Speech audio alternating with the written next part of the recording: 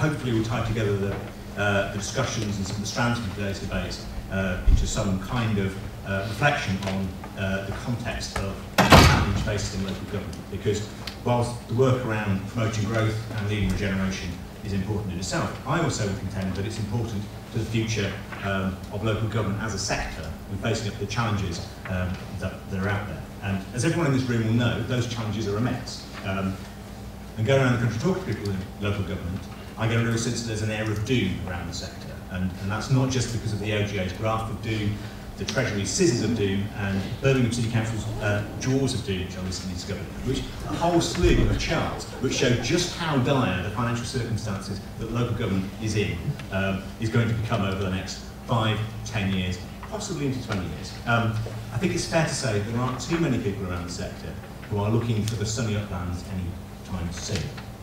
Um, now, that doom is predicated on the gap, not just of um, eroding uh, funding, but also growth in service demand. Um, so it's not simply a, question of the money not coming through, it's that people are demanding your services uh, with, uh, with increasing um, need and, and also demand. It's the, the, the two fit together. Um, so you're not going to have enough money to continue business as usual.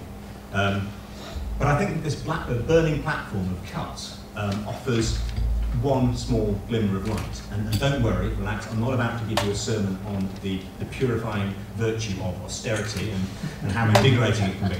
No, the, the upside for me is that it presents local government with a really stark choice about what its future is going to be. Um, and it's maybe a choice that, that local government needed to face up to a while ago, um, but it's certainly here and it's certainly now.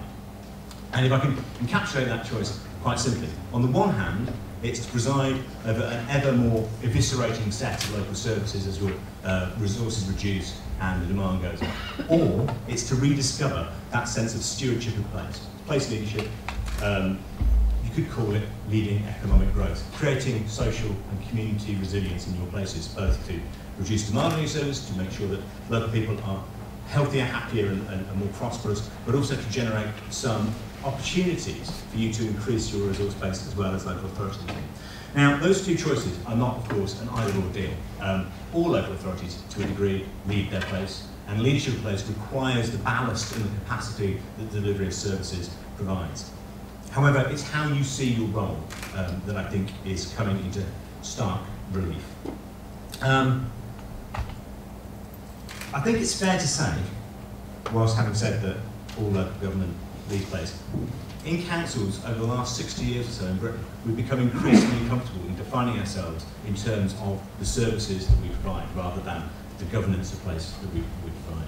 Um, and I'll, I'll, give you an example this. We're, we're just finishing a piece of work now which took a bunch of chief executives through a, a scenario planning game, if you like, to um, budget for the next spending review. Um, and it, we went through three terms. And for the first two terms, the chief executives looked at the budget lines, and they took money out of budget lines and talked about services and how to reduce it. By the time we got to the third round, when it was really, really, really critical, then they started thinking about the resources they place, about how they could get local economic activity going, how they could get people to um, it, it's provide resilience for themselves, how they could get local partners, to, uh, both in the public sector and the private sector, to bring those resources together, how those councils, so those councils could lead um, their local area rather than simply provide services to it. Um, and I think that those themes are particularly relevant to what you've been talking about today, the stuff that Dave's been talking about in terms of um, co uh, coordinating the, the, the, provision of services and resources to unemployed people to make sure people can get back into work, and not just into work, but get out of underemployment and start to be able to uh, earn a living wage as well. Shaping the economy, working out what your ideal economy is going to be, and making sure that you provide for that in the future. Um, Bob Kerslake agrees. I was at a conference yesterday, and Sir Bob, the, uh, the head of the civil service, stood up and said something which I think is highly pertinent to today, and that's uh, that effective economic leadership, both locally and nationally, is going to be one of the three defining characteristics of successful public sector operations in the future. It's not just you know a thing on the edge. It's one of the three things which define an effective public service. It's going to be that effective economic leadership. Now, NLGN published a pamphlet last year called Grow Your Own, which set out our thinking um, on these issues. Uh, we focused on the potential for councils to uh, lead, not just to be part of, but lead on two of the critical drivers of economic growth, skills and on infrastructure. On skills, uh, we made a whole, know, Dave would, would recognise much of it. Um, we specifically said that uh, the FE should devolve 5% of post-16 funding to councils so that they could match skills development to what they see as the evolving skills needs of their area. And we're very clear that it should be local government, not because we think the local government should get the money because, well, just give it to local government, but it's because they're the only people, as the honest broker in an area, who can start to make decisions about what future employers will need rather than simply existing employers. So there's a critical governance, stewardship role for local government in skills, as well as just being able to deliver the service better. On infrastructure, we argued that um, local authorities to start to pool investment monies, both across geographies and across uh, organisational boundaries, to set up what we're calling revolving investment funds. So these are funds which a, a number of uh, councils and other organisations put in resources to invest in, in infrastructure, um, which doesn't necessarily locate within their area, but which would give um, benefits back to the wider area. By pooling, you generate um, an impetus for uh, thinking in terms of functional economic geographies. By making it a recyclable fund, which you can then invest again once you get a return from it, it focuses the mind on economic activity which is going to work, is going to produce a return. So those are the two um, policy proposals I want to flag up from that. But the, the critical message from that report was that councils need to take uh, up the mantle of place shaper, taking greater responsibility for the economic futures of their areas. Not alone, of course, no one agency is going to do this, but not just as one other delivery partner either. We took this idea of place leadership a little bit further in another report last year called More Light, More Power, which set out an agenda for reimagining the role of local authority assets um, the title, More Light, More Power, refers to the motto of Shoreditch and St Leonard's Parish Church, which is now half of, of Hackney Borough in London.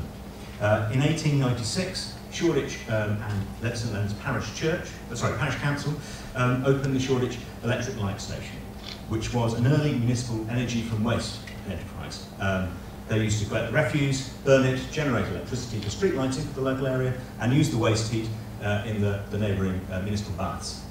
The result, um, the council gets a revenue stream, local people get well-lit streets and access to an affordable um, and important uh, municipal community, community community.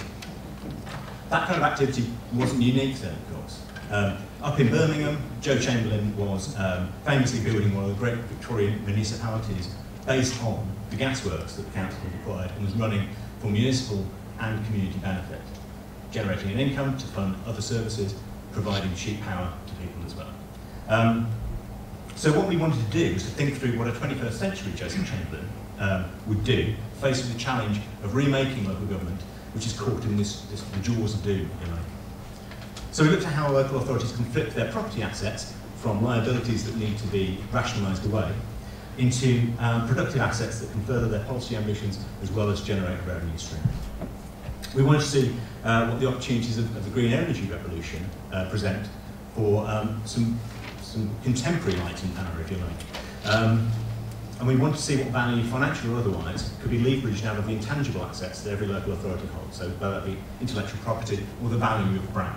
Um, and what we found was in all of those different areas, um, there are councils doing remarkable things, from the, the redevelopment of Oxford Castle through to uh, the operation over a decade of Woking's power stations, which generate around about £2 million of revenue a year, um, as well as producing um, energy for local consumers.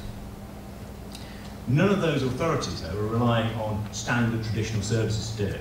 They're using the resources they have, including their legitimacy and their ingenuity, something that um, Joe Chamberlain described as sagacious audacity. And I think that we're at the stage where local government needs a little bit more sagacious audacity.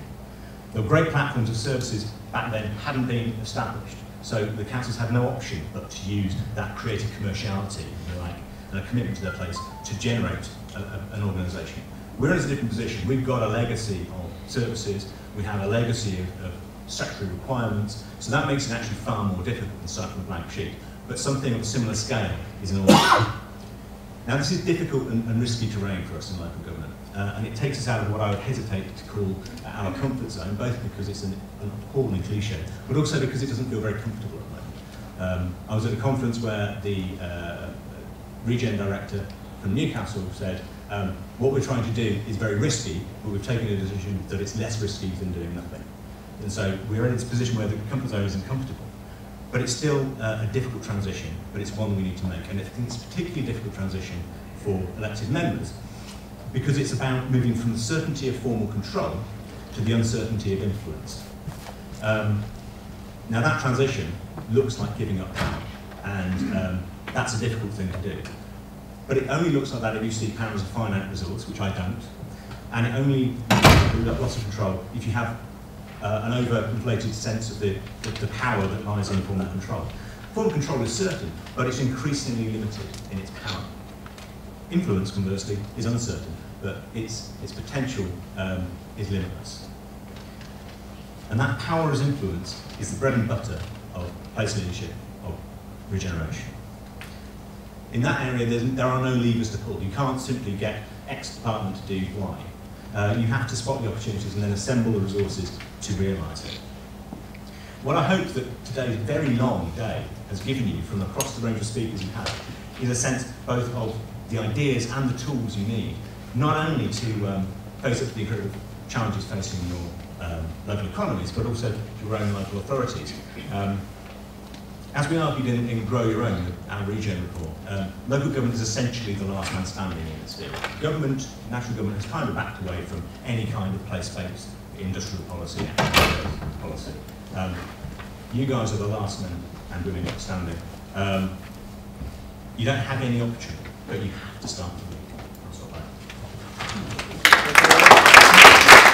The first two, the first two features of it are to help to start improving our education system by uh, ameliorating the disbalance of children actually arriving at school. We cannot compete with, with other countries while our children are going to school unable to eat, unable to speak, unable to walk, a recent report, because of the poverty of their upbringing in a lot of cases. That needs ameliorating, needs addressing for ever to be competitive. The other thing is that whilst a half of family is having to engage in childcare, we are dangerously underusing the um, resources and capacities of our country. And it's something that I hear less and less about every day. And the only thing I've heard from this entire government is a proposal that we should make our childcare services worse by providing a worse ratio. And I, I just don't see how we can get ourselves out of the mess we're in unless somebody addresses that issue. No, Do you want that? Yeah, um, uh, well, no, I would say in, in terms of, uh, of, of tackling uh, unemployment and activity, uh, you know, for um, amongst parents, uh, it is absolutely critical, and uh, especially so uh, in London. Yeah, and it is at its sharpest uh, in London, there's no doubt about it. It's an issue everywhere, but it's its sharpest uh, in, in London. Um, and uh, the, uh, the, the, problem, I think, is that um, we have uh, not paid sufficient uh, attention to how we're stimulating you know, the emergence of just more provision um, and uh, also at the same time, of course, uh, gradually uh, over the years and decades, local government has, has progressively withdrawn from running direct day nurseries and so forth, and it's down to you know basically those children you know in, in, in need on, on the at risk register um, uh, which leaves it all in the private uh, and voluntary sector and therefore subject to uh, the uh, straight market forces. Now, from uh, where I sit, um, it is a classic example uh, of that there is failure in the market, which does justify the intervention you know, by government. Uh, the problem is that um, I think we've probably left it too late because the bill is far too big.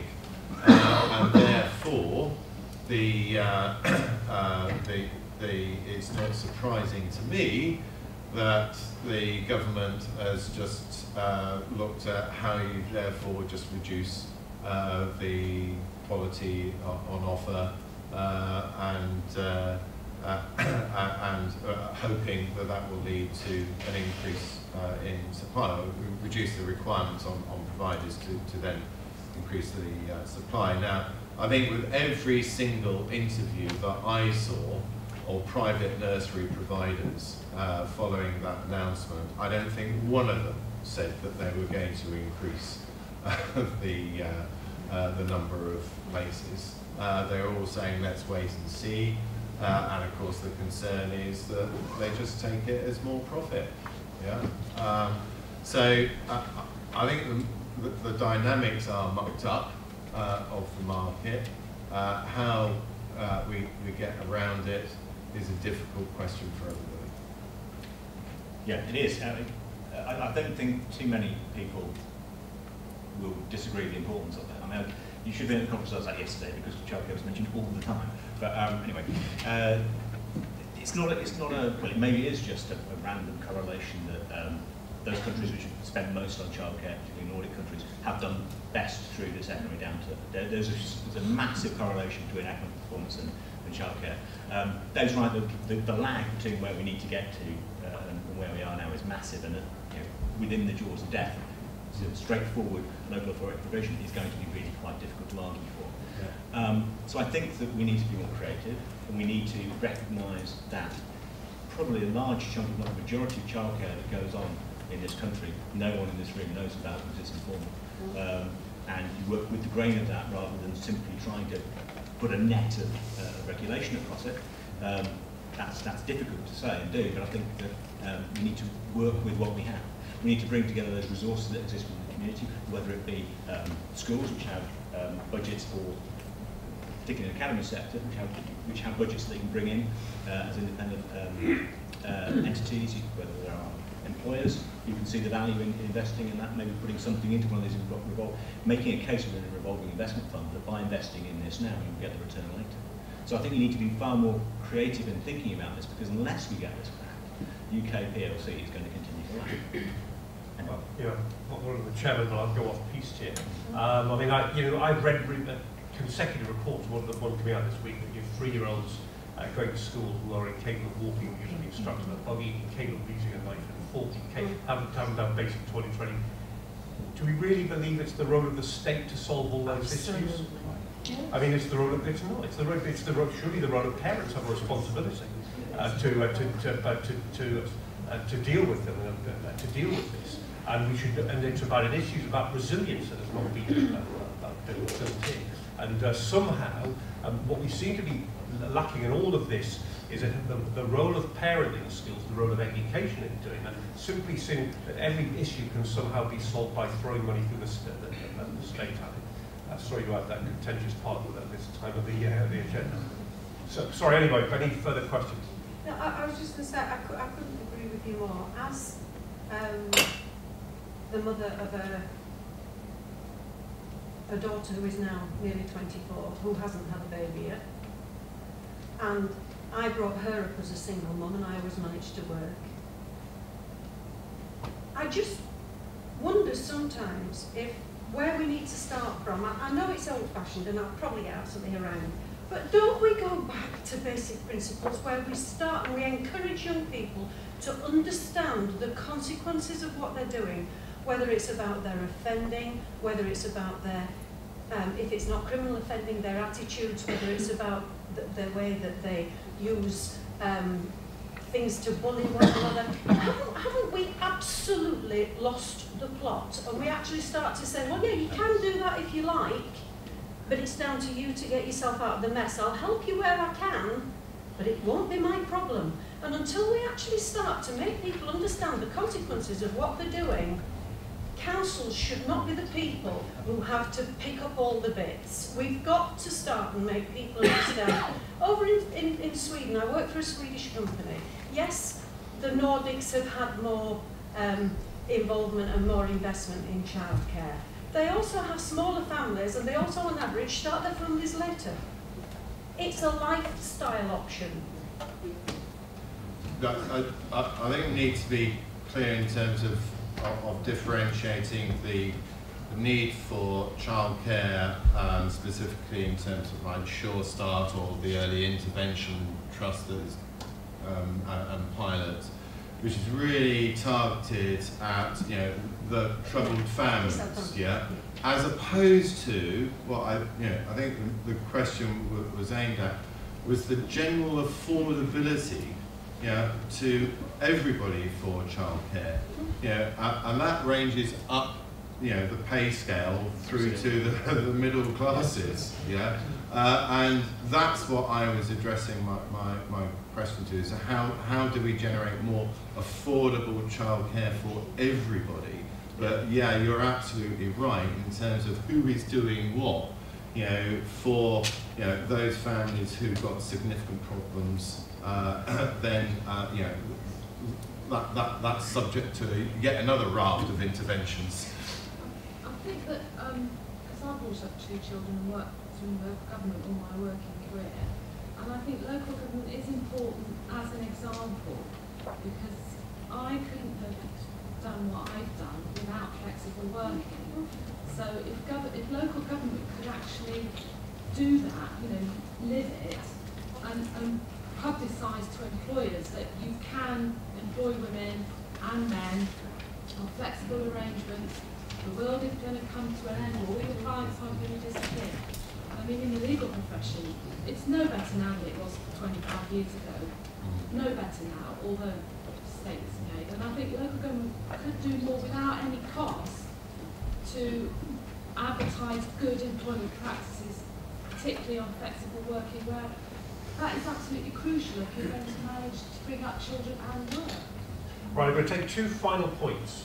Um, I, did you have your race? Uh, I, I, was, I was just going to say that all research shows that people have smaller families later if women are better educated and have better education, have better uh, occupational opportunities. You get large families early in, in countries and, and societies where women don't have opportunities. do you have a point to make? Thank, thanks, yeah. It's also in terms of young people at Conwy Glover Palace City Council. And I've been to a number of events of late where uh, it's very welcome that companies are bringing engineering and construction back into this country uh, and, and getting that moving. Um, what companies are saying to us time and time again is about the skills shortage. You know, I mentioned Pirelli earlier, and they were saying they have to bring engineers in from Italy because they, the specialist engineers don't even exist in this country, let alone in our county. Um, and, but one of the concerns I have is when I go with the mayor in, in, in some schools, and you say to young people, what do you want to do when you grow up? When I was a child, the toys were things like Lego, I know I'm dating myself now, Meccano, Lego, now it's karaoke machines, mobile phones, iPads, whatever. Um, so when you talk to young people, then you say, what do you want to do when you grow up? I want to be famous. Not I want to be a train driver, I want to be an engineer. And when young people are up to doing their GCSE options, that is too late.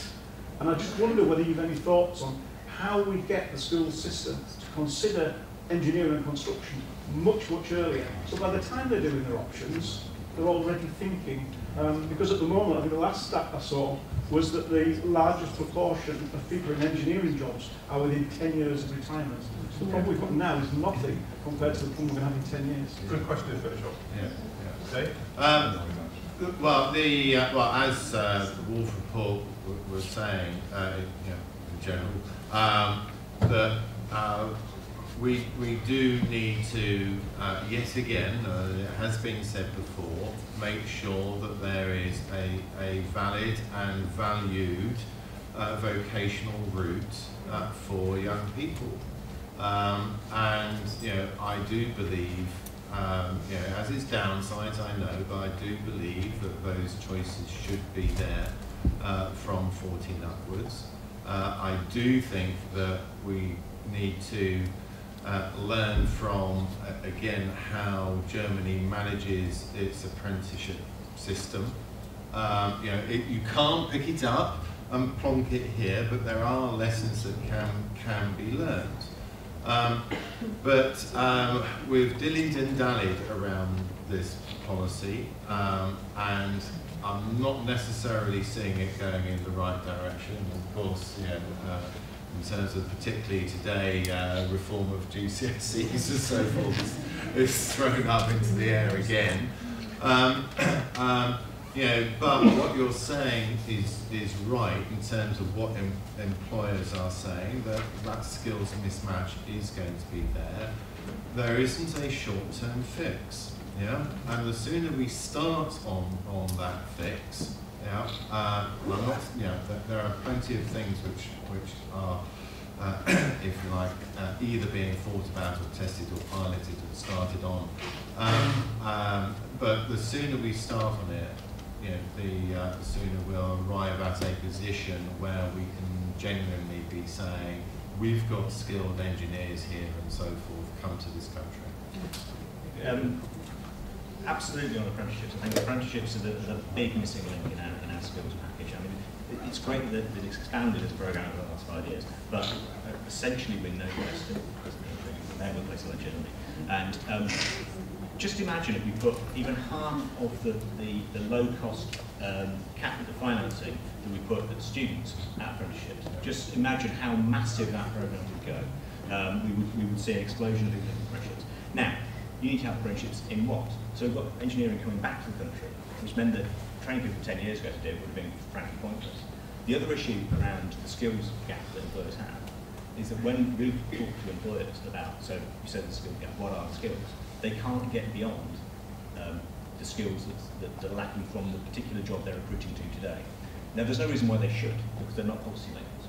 So local government has a critical role in brokering um, projections of the skills needs across a sector, whether it's a real sector that exists now or might come back in five years. Because individual employers, they complain about um, skills gaps. So when you actually sit down and say, what are the skills? They, they, can, they come to a few very, very specific technical skills. But generally, it's just that the people aren't, don't have the right attitude. I that. We did a load of interviews around the Grow Your Own uh, report, and loads and loads of, of employers, when, you, when we pushed them what the skills gap was, it was, well, people just don't have the right attitude. Now, that's not something you can do either through a class uh, education or through an apprenticeship. There's something about motivation in there, but that's not skills gap. And I think that there are things that we need to do to make sure we've got technical skills. work readiness. I think there's an awful lot to be said for group training associations bringing local employers together uh, under the auspices of the local community to bring the, the, the, skills needs into contact with the, the supply of young people who are going to develop those skills. So I think that it isn't simply responding to what individual employers does, it's, actually working with employers to find those far more clearly. And that goes back to that leadership place somebody does.